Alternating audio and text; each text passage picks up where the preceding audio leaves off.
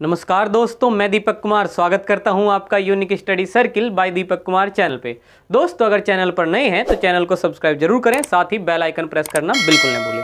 जिससे दोस्तों, आने वाली हर वीडियो का नोटिफिकेशन आपको मिलता रहे। इसके अलावा दोस्तों, अब तक की सभी क्लासेस आप हमारे चैनल की प्ले पर जा करके आर सगराल मैथ का जो सेक्शन बना है, वहाँ पर देख सकते हैं। तो दोस्तों, जैसे कि आप सब जानते हैं, हम पढ़ रहे हैं इस क्लास में आर अग्रवाल मैथ्स और दोस्तों, फ़िलहाल हमारा टॉपिक चला हुआ है अनुपात तथा समानुपात।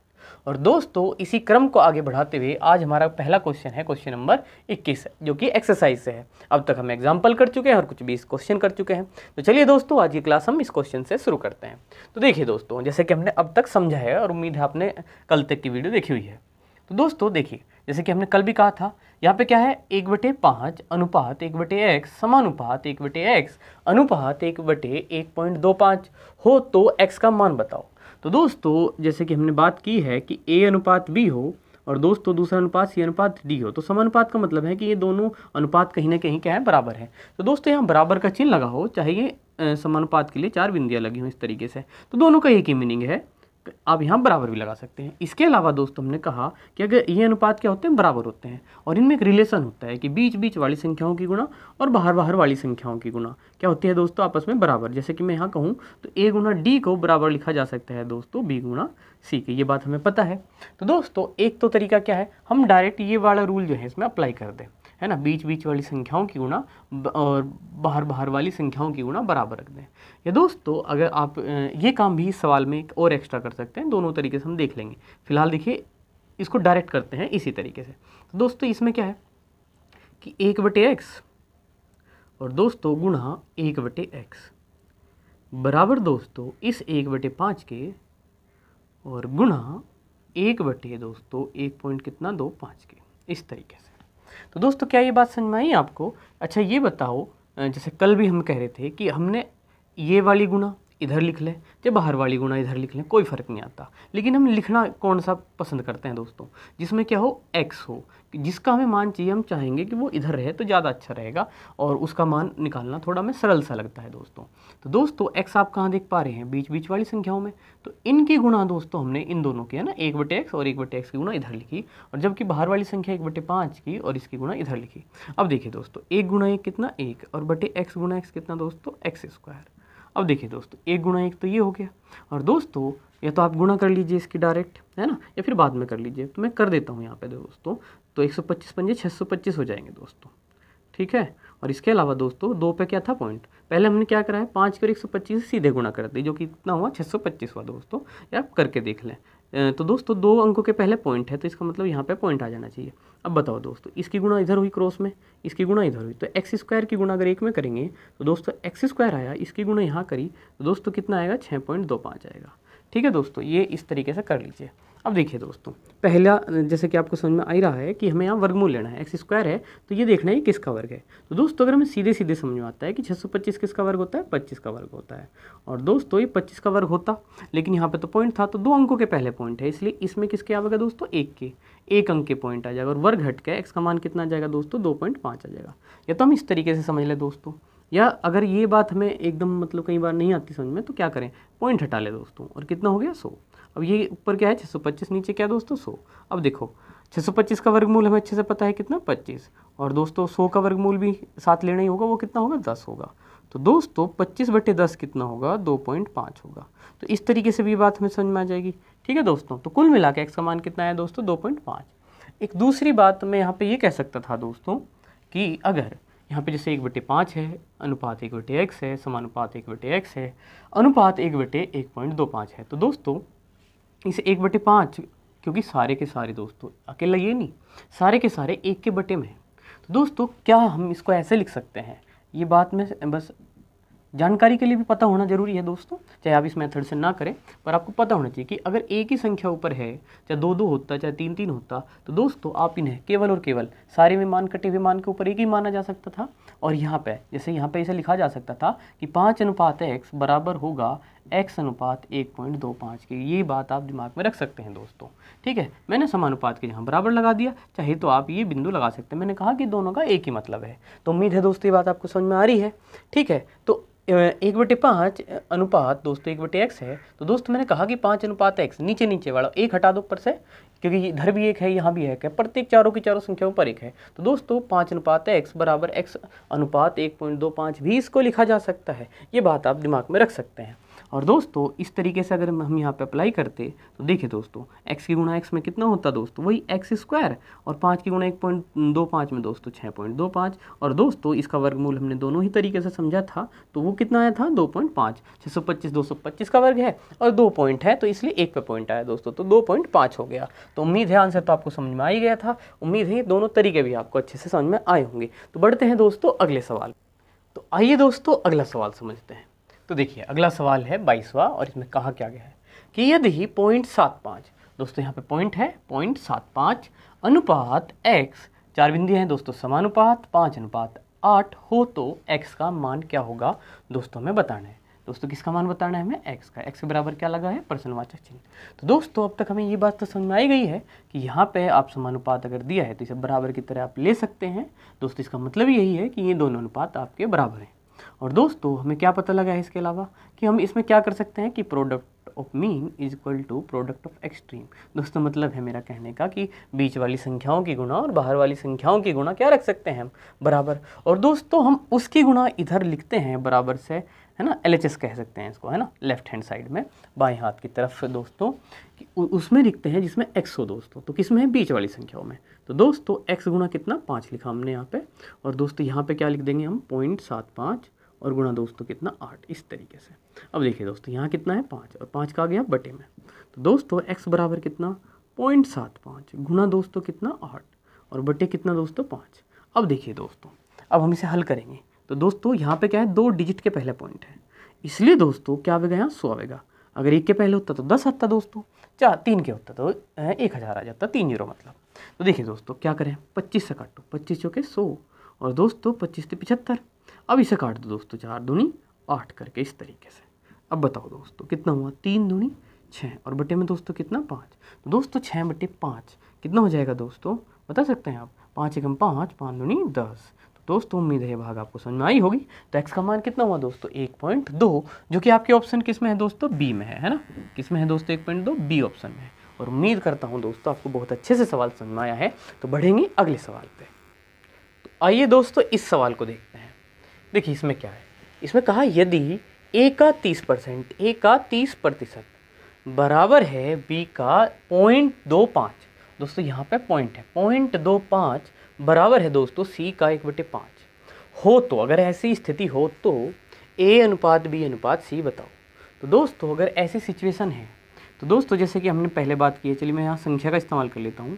दोस्तों, अगर ए बटे दो हो, मान लीजिए बी बटे तीन है, मान लीजिए सी बटे चार है तो दोस्तों, हमने समझा है कि ए अनुपात बी अनुपात सी, यहाँ पे दोस्तों बटे के मान अपनी, अर्थात दो अनुपात तीन अनुपात चार, ये मान हो जाएँगे दोस्तों। ठीक है, ये डायरेक्ट अनुपात हो जाएगा। तो दोस्तों, अगर हो सके तो हम इसी स्थिति में ला सकें। देखिए दोस्तों, एक तो चॉइस ये हुई हमारे पास, या फिर दोस्तों अगर, जैसे कि हमें पता है कि ये भी हमने एक ढकढकिया नियम की कल बात कर रहे थे दोस्त, है ना? कुछ ऐसा कुछ हो तो कि दोस्तों दो ए बराबर किसके दोस्तों? तीन बी हो और दोस्तों कितना हो? चार सी हो। तो दोस्तों, ऐसी स्थिति में भी हमने समझा कि यहाँ पे दोस्तों ए अनुपात बी अनुपात सी कैसे आता है? ए को ढक लीजिए, इनकी गुणा कर दीजिए। बी को ढक के इनकी गुणा कर दीजिए। सी को ढक के इनकी गुणा कर दीजिए। तो अनुपात आ जाता है। खैर दोस्तों, मैं ये कहना चाहता हूँ कि अगर देखिए, इसको कैलकुलेशन लेके हमने इस रूप में बनाया तो इस तरीके से हम अपना आंसर दे सकते हैं दोस्तों। अगर हम बटे बटे में संख्या रख लें ए बी सी के गुणा में से संख्या गायब कर सकें दोस्तों, ऐसी कैलकुलेशन अगर हम करें तो दोस्तों, जो बटे में होगा, वो हमारा आंसर होगा। और या इसके अलावा दोस्तों, अगर हमारे गुणा में मान बचें और बटे के हट जाए संख्याएँ तो दोस्तों, इस तरीके से फिर हम ढक ढकिया नियम लगा के जो हम कल बात कर चुके हैं दोस्तों, उस तरीके से हम बात, ये आंसर निकाल सकते हैं। तो दोस्तों, ये हमारी चॉइस है कि हम अपनी कैलकुलेशन को किस वे में लेकर बढ़ते हैं। तो दोस्तों, यहाँ पे आपकी कैलकुलेशन है ना, कौन, किस तरीके के फॉर्म में आप इसको चेंज करना ज़्यादा कंफर्टेबल समझेंगे, जो आपको आसान लगे, उस रूप में इसको लेकर आगे बढ़ जाइए। तो देखिए दोस्तों, यहाँ पे मैं बात करूँ तो ए का का मतलब गुना दोस्तों, और तीस, और प्रतिशत का मतलब दोस्तों कितना? बटे, है ना, इस तरीके से। तो दोस्तों, यहाँ पे देखिए क्या है। बी दोस्तों, यहाँ कितना है? पच्चीस, है ना? का का मतलब गुणा है ना दोस्तों? और पॉइंट दो पाँच तो दोस्तों पच्चीस और बटे कितना दोस्तों? सौ। और दोस्तों सी का का मतलब गुणा एक बटे पाँच तो गुणा है ना इसका मतलब? तो सी की गुणा एक में होगी दोस्तों। दोस्तों, कितना आएगा बताओ? तो दोस्तों, आएगा कितना? सी बटे पाँच आएगा। दोस्तों, ये हमने एग्ज़ाम्पल देने का प्रयास किया था। इसका इस सवाल से कोई लेना देना नहीं है। चलिए, इसको हटा देते हैं। अब देखिए दोस्तों, इस स्थिति में आप तो देखिए दोस्तों, आपके पास दो चॉइस कैसे कैसे हैं? अगर आप नीचे की संख्या खत्म करना चाहते हैं तो सौ सौ और पाँच का एल्सियम है दोस्तों, सौ सौ से गुणा कर दो। ठीक है दोस्तों? तो नीचे की संख्या गायब। तो दोस्तों, उस फॉर्म में जिसमें ढक ढकिया नियम लगता है उसमें आ जाएगा। और दोस्तों, अगर आपके दिमाग में एकदम आ भी जाता है कि भाई ज़ीरो से ज़ीरो कट गई, पच्चीस के सौ गया, तब ऐसी स्थिति है दोस्तों। तो दोस्तों, इस स्थिति में क्या हुआ तीन बटे कितना दोस्तों? दस। और दोस्तों, यहाँ कितना? बी बटे दोस्तों कितना? चार। और दोस्तों, यहाँ कितना सी बटे पाँच। तो दोस्तों, तब आपको ये सिचुएशन मिली। अगर आपने संख्याएँ काट दी तो दोस्तों, ज़ीरो काट सकते थे, आप पच्चीसों के सौ कर सकते थे सकते थे, और सी बटे क्या है दोस्तों, पाँच है ऑलरेडी ऐसा है। तो दोस्तों, आप समझ रही कि क्या स्थिति है। स्थिति बिल्कुल स्पष्ट है। दस अनुपात, चार अनुपात पाँच कहने में बस एक छोटी समस्या है। इसका आंसर कि ये दोस्तों, यहाँ एक के साथ गुणा में क्या है, तीन है। अगर ये तीन ना होता तो दोस्तों, बटे के मान अपने यही आंसर हो जाता। एक मान गुणा में है दोस्तों। अब इसका क्या करें? तो दोस्तों, हमें पता है कि ऐसी स्थिति में हम किसी भी संख्या से ऊपर गुणा कर लें। कोई दिक्कत वाली बात नहीं है तीनों में। और दोस्तों, ऐसी स्थिति में हम किसी भी संख्या से नीचे भी गुणा कर सकते हैं। बस दोस्तों, हम क्यों कर रहे हैं ये हमें पता होना चाह तो दोस्तों, अब हम सोच रहे हैं किसके बारे में? इस तीन के बारे में कि भाई, ये तीन कट जाए तो इसका इलाज है नीचे। ऊपर गुणा करने से तो ये तीन नहीं कटेगा। भाई, तीन ऊपर कर दिया तो तीन थे तो नौ हो जाएगा। तो यानी कि दोस्तों, नीचे गुणा करनी पड़ेगी और तीन से तीन कट जाएगा। अब दोस्तों, सोच तो बेशक इसके बारे में रहे, लेकिन दोस्तों, तीन से गुणा क्या केवल यहाँ कर सकते हैं? नहीं दोस्तों। अगर हम अपनी तरफ़ से, ये तीन कहाँ से आया दोस्तों? हम लाई से। अपनी तरफ़ से हमें गुणा करनी। और अगर हम अपनी तरफ़ से किसी चीज़ में गुणा करना चाहते हैं तो जितने बराबर के पद हैं दोस्तों, सब में गुणा होगी। तो दोस्तों, तीन की गुणा यहाँ भी होगी। इसका मतलब दोस्तों, तीन की गुणा इस बटे में चार में भी होगी और इसका मतलब दोस्तों, तीन की गुणा इस पाँच में भी होगी। ठीक है दोस्तों? तो सारी जगह होनी है। अब यहाँ करने के लिए, ताकि ये कट जावे, गुणा तो इसलिए की थी दोस्तों, लेकिन इसकी वजह से दोस्तों, यहाँ पर अपने आप ही गुणा करनी पड़ी, क्योंकि ऐसा रूल कहता है कि आप एक जगह पे है ना? अकेले गुणा नहीं कर सकते। अगर दोस्तों, आपकी ऐसी स्थिति है कि इधर ए है और इधर बी है और आपको दो से गुणा करनी तो दो ए बनाना तो दोस्तों ऑटोमेटिकली यहाँ दो से गुणा करनी पड़ेगी। दोनों दोनों साइड में ही गुणा की जा सकती है। जैसे दोस्तों, कहीं जोड़ें तो वहाँ घटाना ज़रूरी है। कहीं गुणा करें तो वहाँ बात करना ज़रूरी है। अगर बराबर लगा है तो हर पद में करनी गुणा ज़रूरी है। तो दोस्तों, ये बात दिमाग में रखें, यह आगे भी काम आएगा। तो दोस्तों, देखिए, क्या बचा? ए बटे दस बराबर दोस्तों कितना? बी बटे तीन चौक बारह। और दोस्तों, सी बटे कितना पानती पंद्रह। अब बताइए दोस्तों, क्या हम कह सकते हैं कि बटे के मान अपने के हिसाब से दोस्तों? ए अकेला, बी अकेला, सी अकेला ऊपर। और बटे में है इनके ये दस, बारह और दोस्तों कितना? पंद्रह। इसका मतलब दोस्तों, ए अनुपात, बी अनुपात, सी। कितना हुआ दोस्तों? दस अनुपात, बारह अनुपात, पंद्रह। तो कितनी सहजता से इस नियम के अनुसार हमने आंसर निकाला दोस्तों? और कौन सा बैठ रहा है दोस्तों? ए बैठ रहा है ना? दस, बारह और अनुपात कितना? पंद्रह। अब दोस्तों, अगर आपके दिमाग में ये बात आई कि नहीं, अगर वो ढक ढके नियम वाली स्थिति में कैसे बदल सकते थे? मतलब दिमाग में तो आई जाता है, बेशक आप ऐसे ही करना चाहते हो। तो दोस्तों, उसको भी एक बार देख लेते हैं कि क्या थी स्थिति। तो हम यहाँ पे थे दोस्तों कि ए और का का मतलब दोस्तों कितना तीस और बटे दोस्तों कितना सौ। और दोस्तों बी और दोस्तों गुणा और दोस्तों कितना पच्चीस बटे सौ और यहाँ पे क्या लिखेंगे हम? सी की गुणा एक में। और ये तो लाइन आपको यहाँ पे भी समझ में आई गई होगी। तो वही है दोस्तों, जो ये लाइन थी, पहले वही लिखी मैंने यहाँ पे। अब बताओ दोस्तों, मैंने कहा जैसे हम यहाँ काट सकते थे और किसी भी संख्या से दोस्तों हम ऊपर गुणा कर सकते हैं, किसी भी संख्या से हम नीचे गुणा कर सकते हैं। तो दोस्तों, अगर हम ये नीचे की संख्याएँ खत्म करना चाहते हैं पहले, हमारा टारगेट इन्हें खत्म करने का तो इनका एल्सियम क्या बैठने वाला है दोस्तों? सो। एल्सियम वो जिनसे तीनों संख्या से जो कट जावे। तो दोस्तों सो कट जाएगा और इसका मतलब अगर हम सौ से गुणा करें तो दोस्तों इसमें भी करना पड़ेगा। ऊपर करना चाह रहे हैं ना ताकि नीचे से कटे? तो ऊपर गुणा अगर यहाँ करी तो दोस्तों यहाँ पे भी करनी पड़ेगी। और दोस्तों इसके अलावा हमें यहाँ पे भी गुणा करनी पड़ेगी। दोस्तों, प्रत्येक पद में करनी पड़ी। जैसे तीन की गुणा में यहाँ पे भी करनी पड़ी, यहाँ पे भी। बस फ़र्क किया था दोस्तों, यहाँ बटे के नीचे कराया था गुणा, वहाँ क्या करा? ऊपर करा गुणा, क्योंकि यहाँ तो हम बटे में बचाना चाह रहे थे मतलब ऊपर से हटाना चाह रहे थे मान, और बटे में बचाना चाह रहे थे, ताकि हमारा आंसर आ जाए। इस सवाल में दोस्तों, हम वो नियम लगाना चाहते हैं, है ना, जिसे हम ढक ढकिया बोल रहे हैं बार बार तो वही हम यहाँ पर करेंगे। तो देखिए दोस्तों, सो कट गया, और इसके अलावा दोस्तों, यहाँ पे भी सो गया। अब बताइए दोस्तों पाँच दूनी कितने, दस, इस तरीके से बीस आया। समझिए दोस्तों, यहाँ कितना है? तीस है, मैं इसे लिख देता हूँ। क्या बचा दोस्तों? तीस है। यहाँ पे दोस्तों कितना बचा है? पच्चीस बी अगर आपको ये अच्छे से समझ में आ रहा है दोस्तों, बहुत अच्छी बात रहेगी आपके लिए। दोस्तों कितना? बीस सी तो दोस्तों देखिए, यहाँ पे ये वाली स्थिति आई। अब हमने क्या समझा? किसी भी संख्या से गुणा कर सकते हैं। तो क्या किसी भी संख्या से भाग भी कर सकते हैं? बिल्कुल दोस्तों। ये पच्चीस पच्चीस और बीस किस संख्या से कट जाएँगे? दोस्तों पाँच से, है ना? पाँच छंग तीस। दोस्तों कितना? पाँच पंजे पच्चीस। और यहाँ कितना दोस्तों? पाँच चौक बीस। तो दोस्तों इस स्थिति में छः बराबर कितना दोस्तों पाँच बी और बराबर दोस्तों कितना चार सी तो ये स्थिति आई। अब दोस्तों यहाँ ढकढकिया नियम लगाओ, जरा चलो। ए अनुपात, बी अनुपात, सी बताएँगे। तो दोस्तों, ए के लिए क्या बताया? ए, इसको छिपाओ, है ना? इनकी गुणा कर दो। तो पाँच चौक, बीस हुआ दोस्तों। अब देखिए दोस्तों, बी के लिए क्या करेंगे? इन्हें इसको छिपा लेंगे और चार छिक, दोस्तों कितना? चौबीस हो गया। अब बताओ दोस्तों, सी के लिए इसे छिपाओ और छप पाँच छंग दोस्तों कितना? तीस। अब ये दोस्तों किससे कट जाएँगे? बड़ी सहजता से बताओ, दो से कटेंगे। तो दो ढाई दो से कट के दोस्तों, दस। दो से कट के दोस्तों बारह दूनी चौबीस, और दो से कट के कितना दोस्तों पंद्रह। तो दोस्तों दस अनुपात, बारह अनुपात पंद्रह। दोस्तों हो सकता है आपको लगे ये बड़ा हो गया या ये छोटा हो गया, जो भी मतलब आपको लग सकता है। लेकिन दोस्तों, मेरा बताने का मतलब ये है फ़िलहाल, जब ऐसे क्वेश्चन करें तो हम हर कैलकुलेशन के दृष्टिकोण को समझ के चलें कि इस वे में भी कर सकते हैं, इस वे में भी कर सकते हैं। जैसा, क्योंकि दोस्तों रेंडमली हम ना करना शुरू कर देते हैं। कई बार हम ज़्यादा सोचते नहीं हैं पेपर में, क्योंकि पेपर में ऐसा ही होता है, बहुत ही कम समय होता है रिएक्ट करने का कि मेथड को। तो जो दिमाग में आवे वो कर दें। दोस्तों, अगर रुकेंगे नहीं ना, सवाल में टाइम ज़्यादा नहीं लगता। अगर सोचने पर ज़्यादा टाइम खराब हो जाए, तब ज़्यादा समय खराब होने का गुंजाइश बैठती है। खैर दोस्तों बढ़ देंगे अगले सवाल पे। तो आइए दोस्तों, इस सवाल को देखते हैं।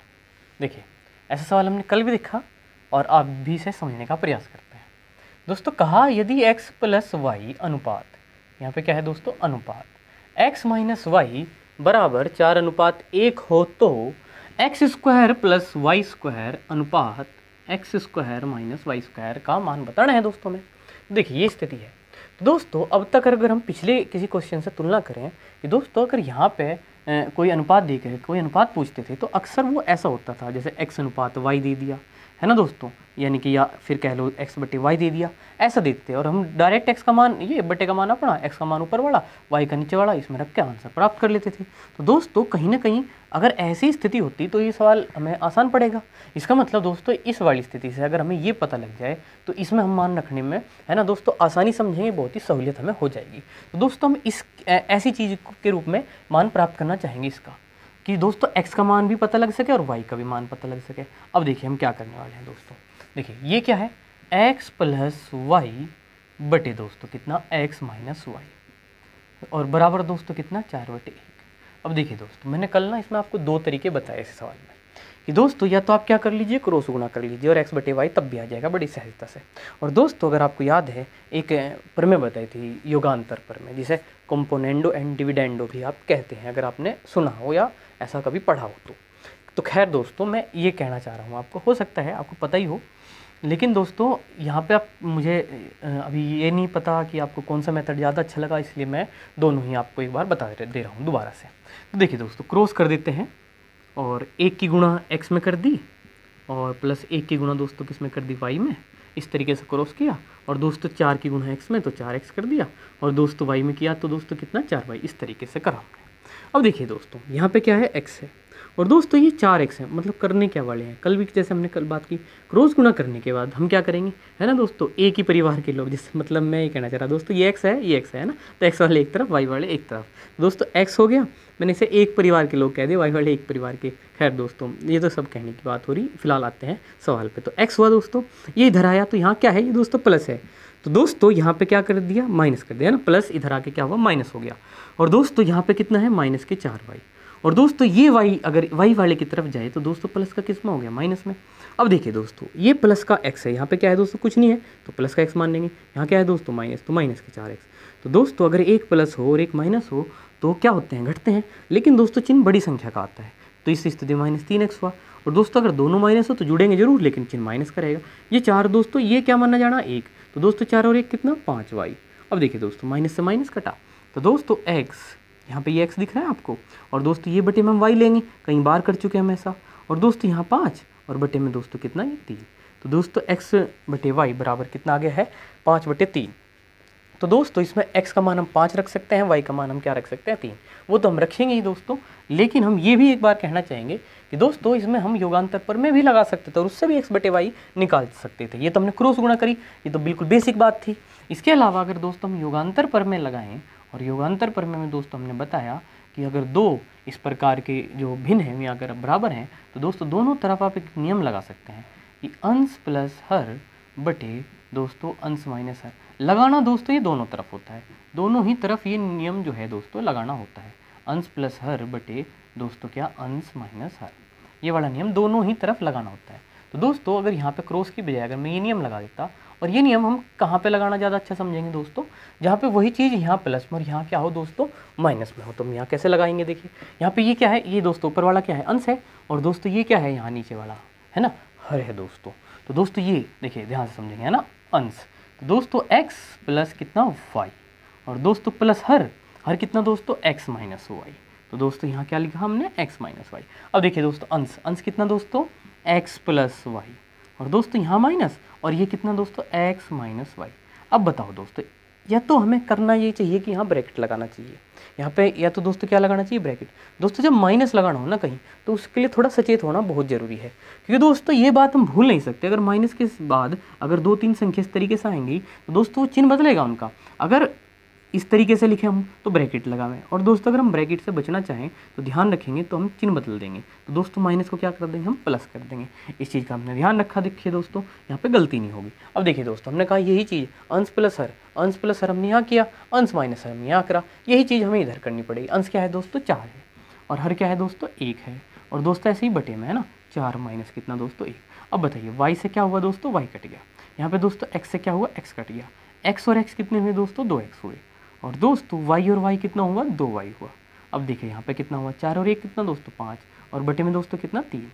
तो दोस्तों एक्स बटे वाई बराबर कितना? पाँच बटे तीन। तो देखिए दोस्तों, इस तरीके से हमने यहाँ पे ये बस जोड़ा घटाया, काट दिया तो एक्स बटे वाई कितना आ गया दोस्तों? पाँच बटे तीन। आपको जो है बेहतर लगे दोस्तों एक्स बटे वाई निकालने के लिए आप उस विधि का इस्तेमाल करें। खैर फाइनली हमें यहाँ से दोस्तों कहाँ पे पहुँचना था? एक्स बटे वाई पे। यहाँ पे देख लीजिए, यहाँ पे। तो दोस्तों, बटे के मान अपने, यानी कि एक्स का मान हम पाँच, और वाई का मान क्या रख सकते हैं? तीन। और दोस्तों मेन क्वेश्चन हमें मान किसका निकालना था? मान तो इसका निकालना था। ये तो हम यहाँ पे समझ रहे थे दोस्तों कि हमें रिक्वायरमेंट किसकी है, ज़रूरत किसकी है? एक्स बटे वाई की। और यहाँ से वो कैसे कैसे निकाला जा सकता है, हमने उसके लिए दो तरीके समझे। तो खैर दोस्तों, अब यहाँ पे इसका जिसका मान चाहिए उसका निकालते हैं। तो दोस्तों देखिए, यहाँ पे क्या है? एक्स स्क्वायर प्लस कितना दोस्तों? वाई स्क्वायर और बटे में दोस्तों कितना? X square minus y square और हम अब तक बात कर रहे हैं दोस्तों कि क्या यहाँ पे ऐसे हम डायरेक्ट मान रख सकते हैं? यहाँ पे अनुपात है, वहाँ अनुपात है डायरेक्ट मान रख सकते हैं। बटे के मान अपने लेकर के, है ना? एक्स का मान पाँच वाई का कितना दोस्तों? तीन। तो जहाँ दोस्तों एक्स है, जहाँ दोस्तों एक्स है, वहाँ क्या लिख देंगे हम? पाँच लिख देंगे। और दोस्तों जहाँ वाई है, वहाँ क्या लिख देंगे दोस्तों हम? तीन लिख देंगे। दोस्तों एक्स के स्थान पर क्या लिख रहे हैं? हम? पाँच। और दोस्तों वाई के स्थान पर क्या लिख रहे हैं हम? तीन। ठीक है दोस्तों, उम्मीद है ये बात आपको समझ में आ गई। अब बताओ दोस्तों, पाँच का वर्ग कितना हुआ? पच्चीस। और दोस्तों, तीन का वर्ग कितना? नौ। और दोस्तों, पाँच का वर्ग कितना? पच्चीस। और दोस्तों, तीन का वर्ग कितना? नौ। अब बताओ दोस्तों, पच्चीस और नौ कितने दोस्तों? चौंतीस, है ना? और पच्चीस में से नौ गए दोस्तों कितने? सोलह।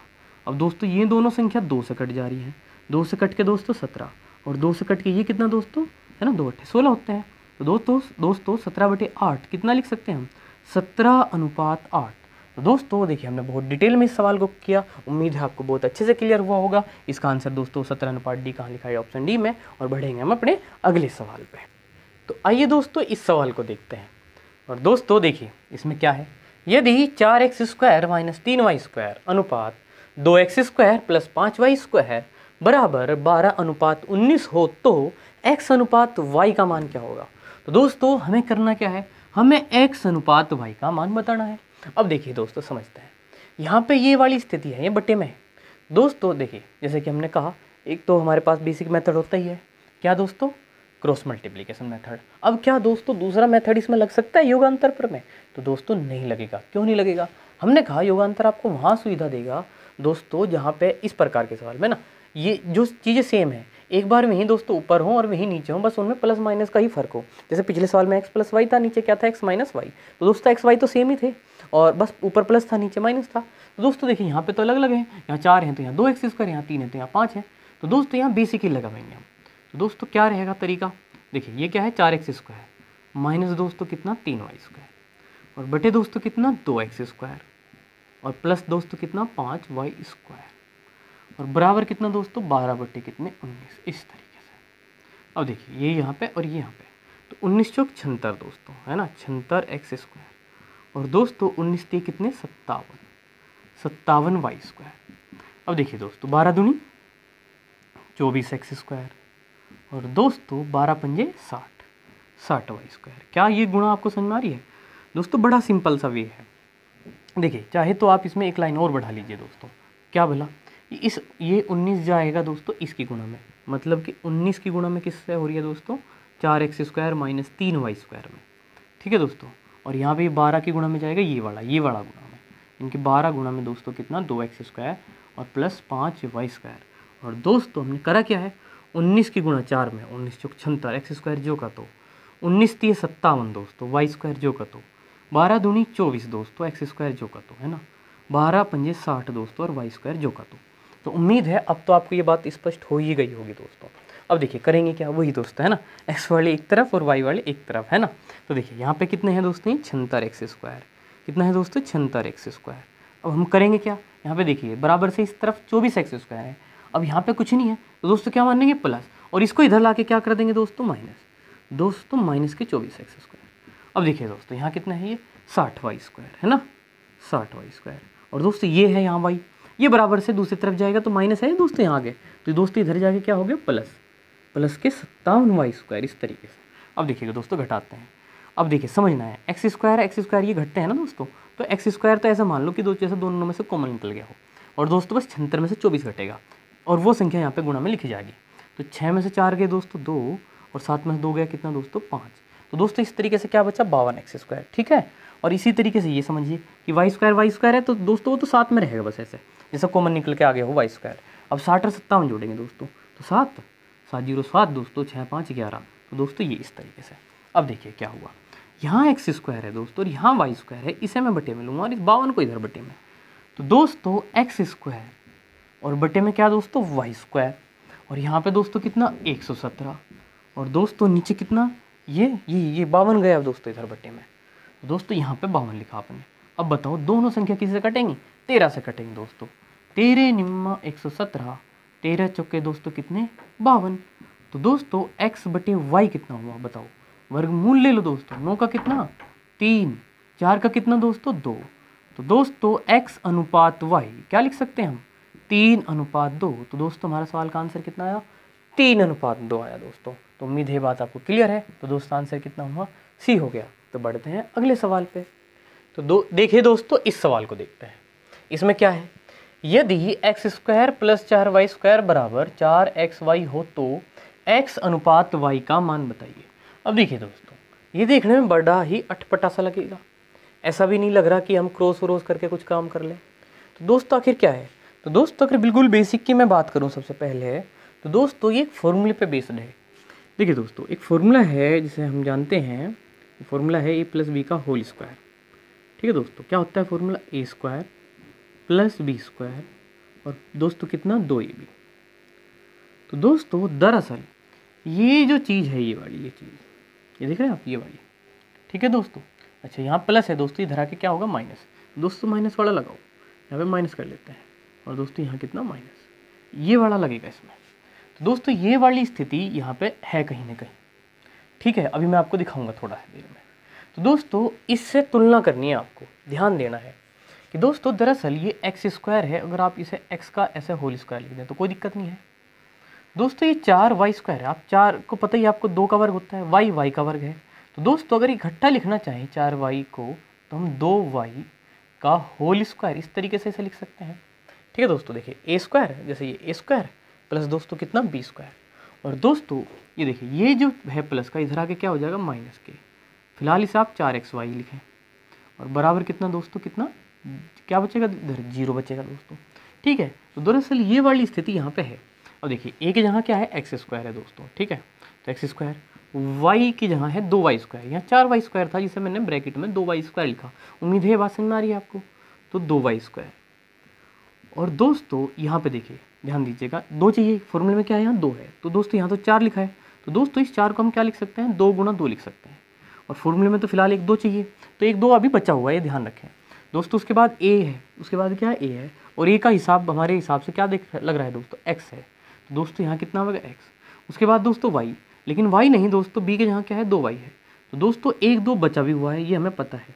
और बराबर कितना दोस्तों? ज़ीरो। अब ध्यान से तुलना करिए, क्या सारी व्यवस्था सही होगी है? क्या ए के स्थान पर एक्स स्क्वायर है?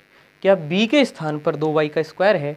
क्या माइनस दो ए के जहाँ एक्स और बी के जहाँ दो वाई है? तो बिल्कुल है दोस्तों, बराबर ज़ीरो। तो दोस्तों, अगर ये स्थिति यहाँ पे है तो दोस्तों, इसका मान ये होता है। तो क्या इसी हिसाब से इसे लिख सकते हैं?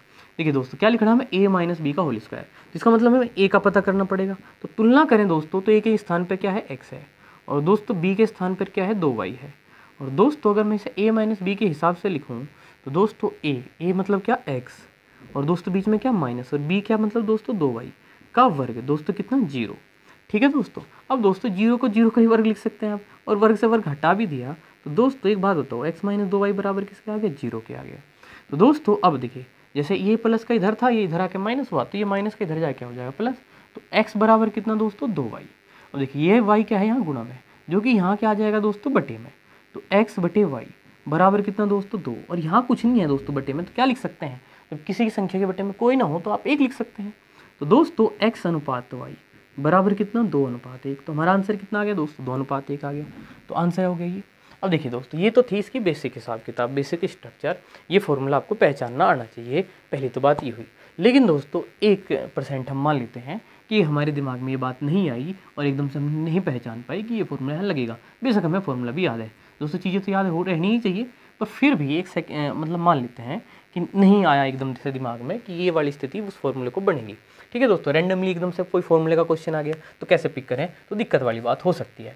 तो दोस्तों, कहीं ना कहीं हम ये बात भूल नहीं सकते कि हमें किसका मान चाहिए? एक्स अनुपात वाई का। और ये ऑप्शन किसके हैं दोस्तों? एक्स अनुपात वाई के। तो दोस्तों, इनमें पहला मान अगर इस ऑप्शन के हिसाब से देखें तो पहला ये दो एक्स क्या है? दो है।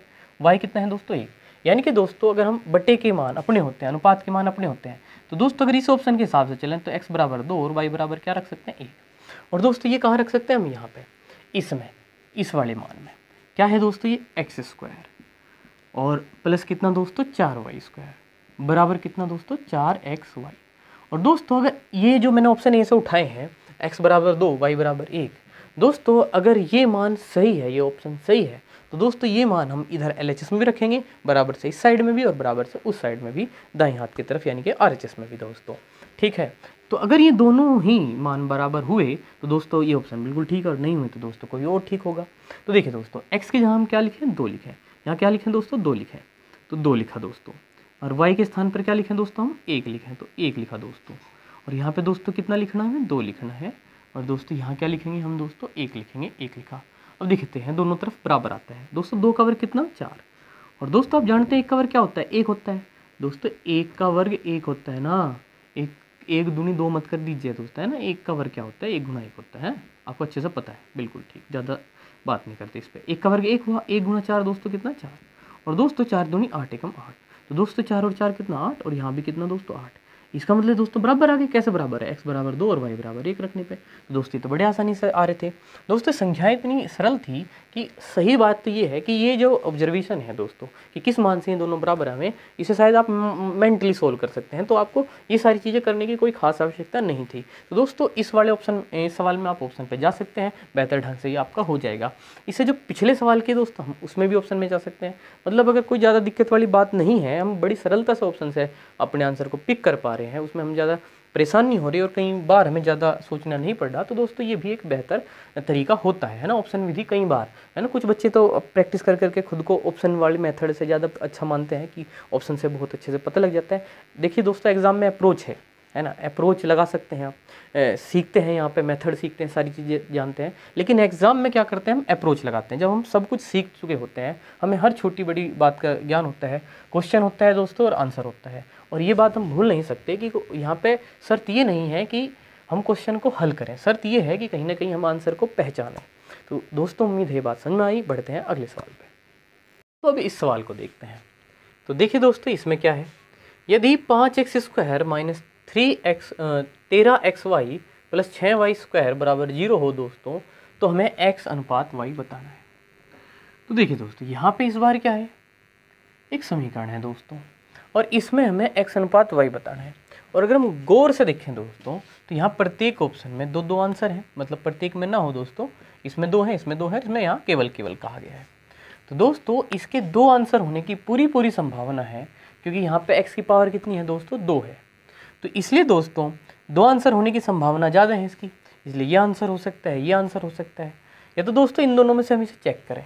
ठीक है? क्योंकि इसके पावर दो है, इसलिए इसके दो सोल्यूशन दोस्तों, ये नियम है ना रेखिक समीकरण का, द्विघात समीकरण का, है ना इसी प्रकार से कि जितने घात की समीकरण हो, उसके उतने ही सोल्यूशन होते हैं, ऐसा एक नियम है प्रॉपर तो खैर दोस्तों, हम बात करें फ़िलहाल इसके दो सोल्यूशन हो सकते हैं तो यह और या ये।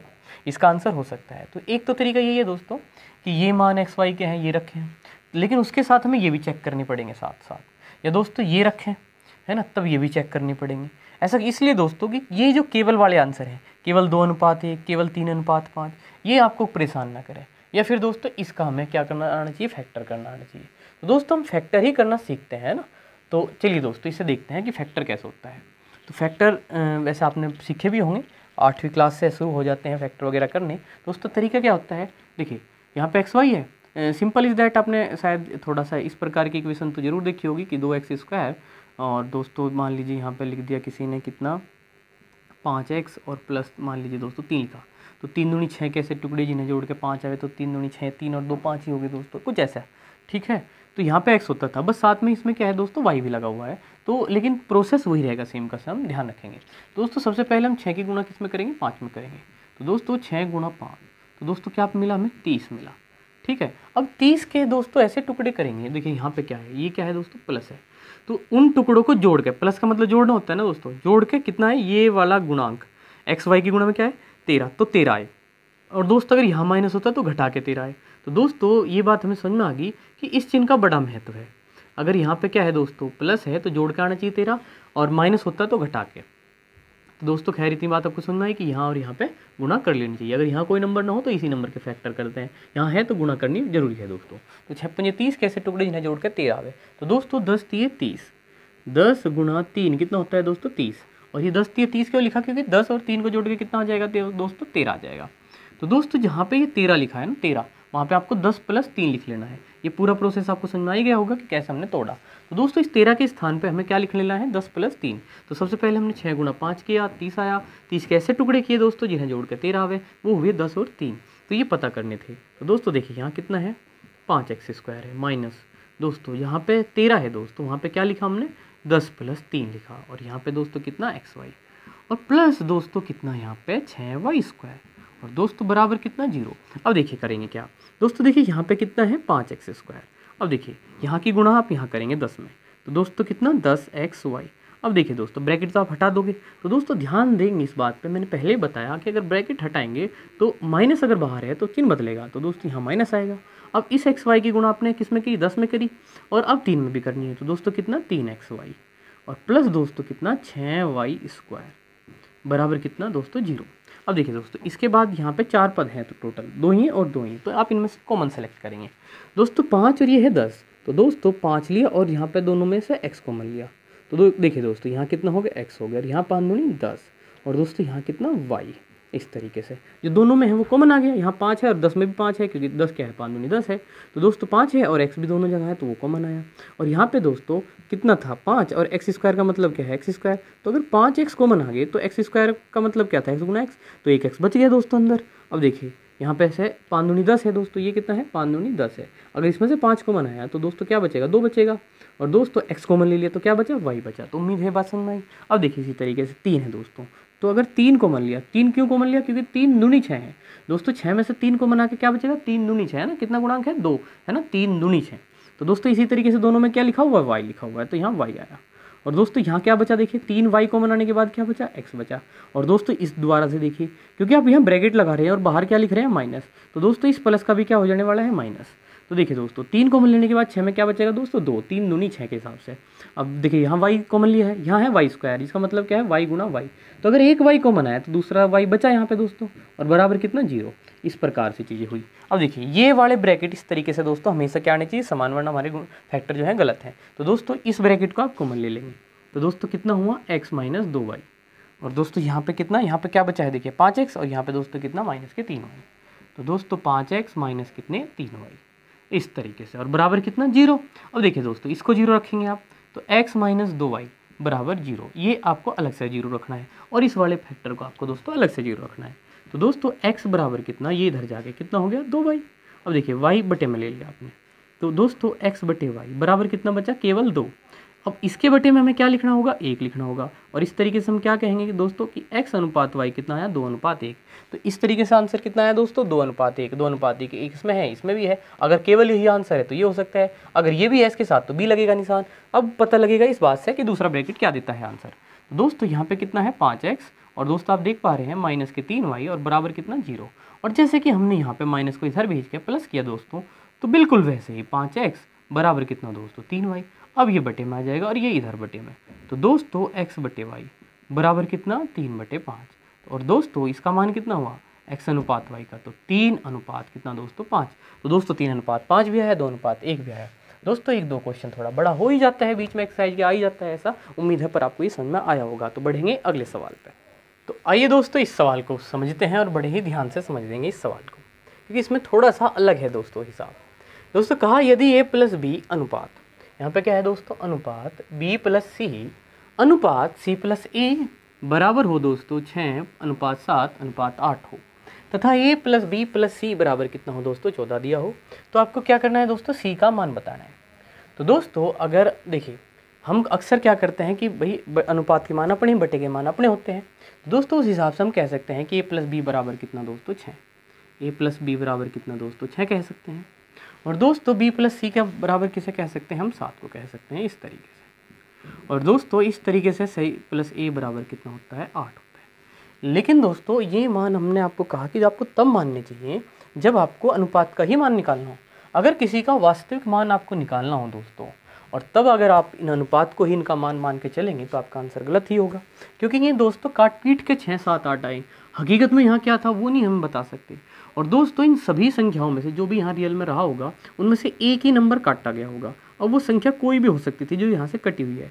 और अगर जब तक वो संख्या आपको नहीं पता लगेगी दोस्तों कि यहाँ से काटा क्या गया है, कौन सी संख्या है जिससे यहाँ भाग किया गया है दोस्तों तो दोस्तों तब तक आप सी का सही मान नहीं प्राप्त कर सकेंगे।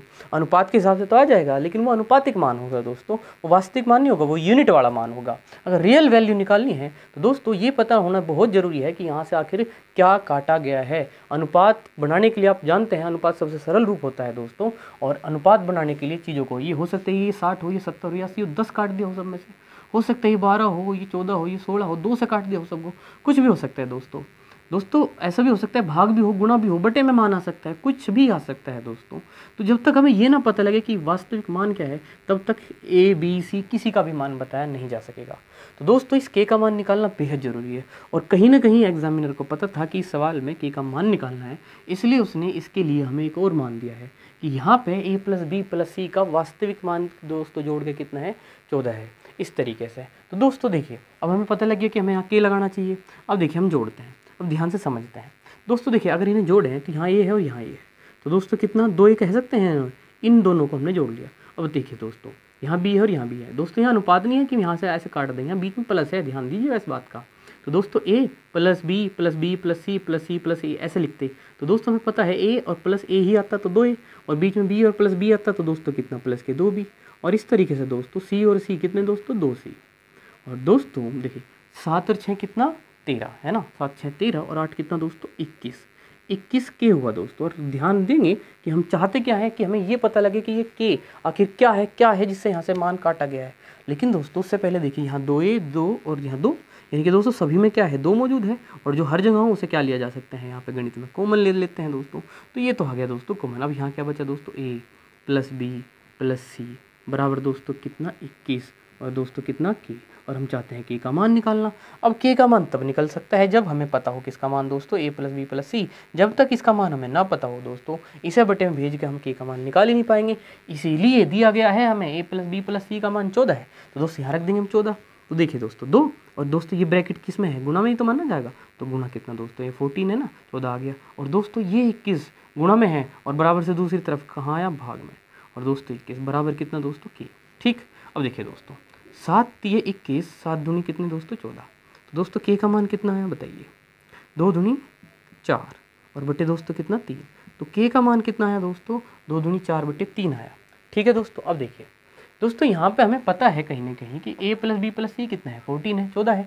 और हम मान किसका चाहते हैं दोस्तों? सी का। किसका मान चाहते हैं दोस्तों? सी का। तो दोस्तों, बड़े ही अच्छे से हम ये बात बता सकते हैं कि ए प्लस बी का मान पता कर लो भाई और चौदह में से घटा दो तो सी का बच जाएगा। अब देखिए दोस्तों ए प्लस बी आपको दिख रहा है कहाँ है? यहाँ है। दोस्तों ए प्लस बी का मान कितना है? छः के। और दोस्तों, ये छः है और दोस्तों, हमें ये पता लग चुका है कि यहाँ से क्या काटा गया है। दोस्तों, यहाँ चार और तीन, चार बटे तीन से भाग किया गया है। तो दोस्तों के का मान रख दो आप, चार बटे तीन। तो दोस्तों, तीन दूनी छः और दोस्तों ए प्लस बी का ही तो मान आ रहा है ये। तो ए प्लस बी का मान कितना आ गया दोस्तों? चार दूनी आठ आ गया। तो दोस्तों, ये किसका मान आ गया? आठ का। तो सबसे पहले दोस्तों, हमने क्या करा? हमने यहाँ के लगाया। हम ये पता करना चाहे कि यहाँ पे आखिर किस संख्या से भाग किया गया क्योंकि हमें सी का प्रोपर मान चाहिए, पूरा एक्चुअल मान अनुपातिक मान नहीं चाहिए दोस्तों। इसलिए दोस्तों, हमने क्या करा? के लगाया। सबको जोड़ा इक्कीस के और दोस्तों, इधर जोड़े तो दो ए दो बी दो सी आए। दो कॉमन लिया दोस्तों a plus b plus c जिसका मान हमें चौदह दिया है। यहाँ चौदह रखा दोस्तों। इक्कीस को गुणा वाले को बटे में भेज कर दोस्तों, हमने पता किया कि के का मान तो यहाँ चार बटे तीन है, और वो मान दोस्तों हमने छः गुणा के यहाँ पर रखा, और इस तरीके से ए प्लस बी का मान कितना है दोस्तों? आठ। अब बताओ दोस्तों, पूरा मान कितना है? A plus b plus c कितना है? दोस्तों चौदह है, और इसका मान कितना हो गया दोस्तों? आठ हो गया। अब अगर आठ घटा दें, दोस्तों किसका मान कह रहा हूँ मैं? ए प्लस बी का मान। कितना हो गया दोस्तों? आठ हो गया। अब ए घटा दें दोस्तों ए घटा दें, देखिए। ए कट जाएगा बी कट जाएगा। दोस्तों सी का मान क्या बचा? चौदह में से आठ जाके कितना बचा? छः बचा दोस्तों। तो सी का आंसर कितना आ गया दोस्तों? छः और उम्मीद है ये सवाल आपको अच्छे से क्लियर हुआ होगा दोस्तों। तो बढ़ेंगे अगले सवाल पे। अब देखिए दोस्तों, इस सवाल को समझते हैं। इसमें क्या दिया है? यदि ए बटे तीन बराबर बी बटे चार बराबर सी बटे सात हो तो इसका मान बताओ। तो दोस्तों, कहीं ना कहीं बटे में अनुपात में है। तो क्या दोस्तों, ये जैसे कि हम कहते हैं कि बटे के मान अपने हैं और ये डायरेक्ट यूज़ किए जा सकते हैं। तो ए के स्थान पे दोस्तों कितना लग दें हम यहाँ? तीन लिख दें। जहाँ ए है दोस्तों, वहाँ तीन लिख सकते हैं। ए का मान क्या हुआ दोस्तों? बटे का मान अपना लिया।